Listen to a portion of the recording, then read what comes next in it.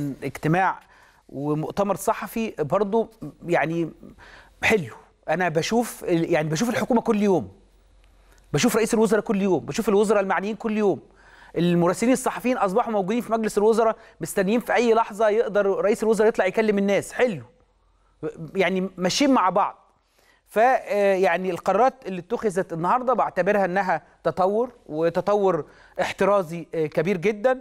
زي ما سمعت وزير الطيران تعليق حركة الطيران في المطارات المصرية من ظهر الخميس المقبل. حتى 31 مارس الجاري توجيهات رئاسية باتخاذ كافة الإجراءات الاحترازية التي تضمن سلامة وارواح المواطنين من الإصابة بفيروس كورونا. ده طبعا بند هام جدا هيدخل فيه أطر كثيرة. السماح للضيوف الموجودين على أرض مصر باستكمال برامجهم السياحية حتى يغادروا البلاد وفق توقيتاتهم وده طبعا هيتم بالتنسيق مع خطوط الطيران الخاصة بهم. تخفيض عدد العاملين في المصالح والأجهزة الحكومية بهدف الحد من الاختلاط باستثناء الجهات الخدمية الاستراتيجية. الآلية بتاع البند ده الحكومة هتقولها أعتقد بكرة. يعني الآلية هتقول لك مديرية الشباب والرياضة مثلا يعني مديرية التموين مديرية مش عارف إيه عدد الموظفين 100 هنخفضها لقد إيه؟ الآلية دي الحكومة هتطلع تاني عشان توضحها للناس. أهم نقطة رئيس الوزراء قالها النهارده يا جماعة مش ممكن دلوقتي نسمع للشائعات. مستحيل. يعني ده وقت ما فيهوش هزار.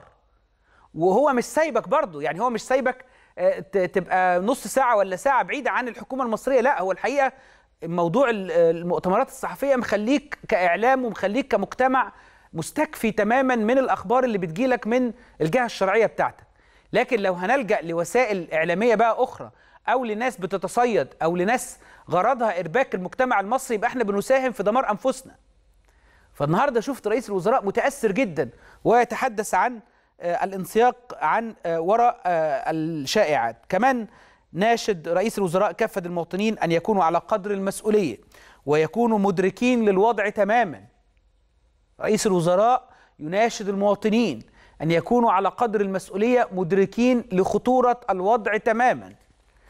وقال أنه من ناحية السلع والأغذية مصر لديها رصيد كبير جدا يكفي لشهور مقبلة. وقال أن هناك تنسيق مع وزيري الداخلية والتموين للتعامل بمنتهى الشدة والحزم مع أي أنواع من الممارسات التي تستهدف إخفاء أو تحريك أسعار السلع. خلونا نشوف جزء من المؤتمر الهام اللي عقده رئيس الوزراء ونرجع لحضراتكم. أولا إن هيتم تعليق حركة الطيران في كافة المطارات المصرية اعتبارا من ظهر يوم الخميس القادم الموافق 19 3 يعني يعني آخر طيارة سيسمح بها هتكون في ظهر يوم الخميس القادم والموضوع ده هيبقى يستمر لغاية يوم 31 مارس. سيتم تعليق حركة الطيران اعتبارا من يوم الخميس 19 حتى يوم 31 مارس. وهدف هذا الموضوع طبعا بالتأكيد هو إن إحنا نقلل من عملية الاختلاط المباشر اللي ممكن سواء من حركة السياحة أو القادمين أو حتى الخارجين من مصر في خلال هذه المرحلة. تخفيض العاملين عدد العاملين في أجهزة الدولة والمصالح الحكومية بأسلوب يضمن أن إحنا مرة أخرى نقلل من الاختلاط ونحد من الاختلاط والاحتكاك بين المواطنين.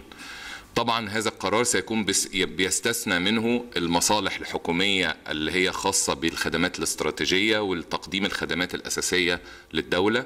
القرار ده إحنا إن شاء الله هيتم صدوره في خلال ساعات. هدفه زي ما بقول لحضراتكم إن إحنا نخفض من عدد العاملين في الأجهزة والمصالح الحكومية. اللي هي بتبقى في الأساس أنشطة إدارية أو يعني لا تمس حياه المواطنين بصورة استراتيجية أو بصورة حقيقية وهيصدر هذا القرار في خلال ساعات إن شاء الله. إحنا الحمد لله عندنا رصيد كبير جدا من السلع النهارده يكفينا لشهور طويلة.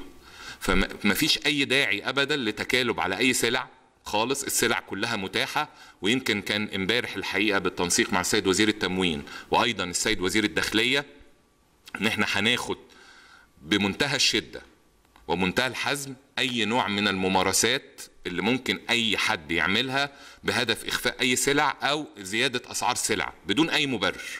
لأن عندنا كل الحمد لله ولله الحمد السلع كلها متوفرة في مصر ما عندناش أي شيء يدعو لهذا الموضوع.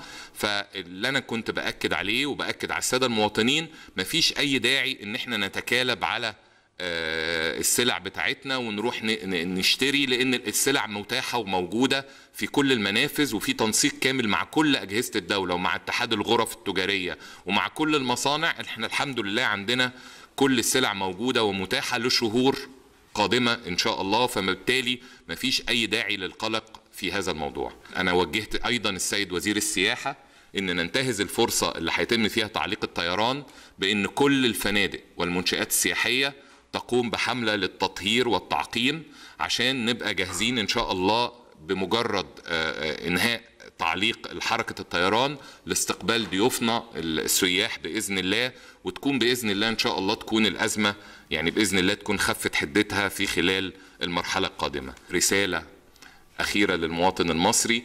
أرجو أن إحنا كلنا نكون على قدر المسؤولية والإحساس بأن هناك أزمة على مستوى العالم كله. لازم نتابع هذه الأزمة ولا نستخف ولا نستهين بهذه الأزمة ولا نتصور إنها بعيدة عننا وإن اللي حصل في دول أخرى مش هيحصل عندنا.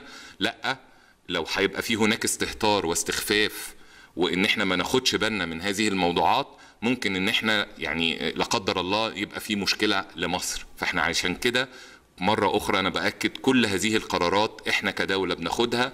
هدفنا وهمنا الأوحد وده توجيه سيادة الرئيس مفيش حاجة اسمها يعني آه، أي خسائر مالية. أهم شيء بالنسبة لنا هو أرواح وصحة المصريين.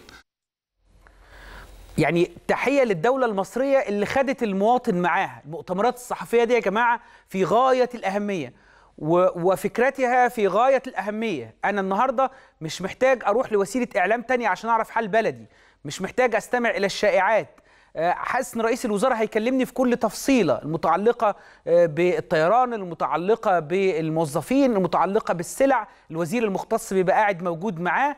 يعني احترام كامل للمواطن المصري. ده دورنا بقى. وأرجوكوا بصوا على تعبيرات وجه رئيس الوزراء وهو يتحدث عن الاستخفاف بالأمور. أرجوكم. يعني الدنيا كلها بتتحدث النهارده لسه من دقائق. الرئيس الفرنسي بيتحدث عن إجراءات استثنائيه جدا في احتمال الجيش الفرنسي ينزل في احتمال إنه يحصل منع للمواطنين إنها تنزل من المنازل. إحنا ما وصلناش للمراحل دي. أنا محضر لكم فيديو النهارده من منظمة الصحة العالمية بيتحدث عن مصر. أظن إحنا مش إحنا ولا رئيس الحكومة.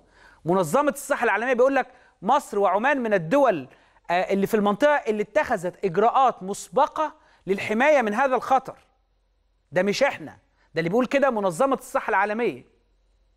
فيأتي الآن دور المواطن.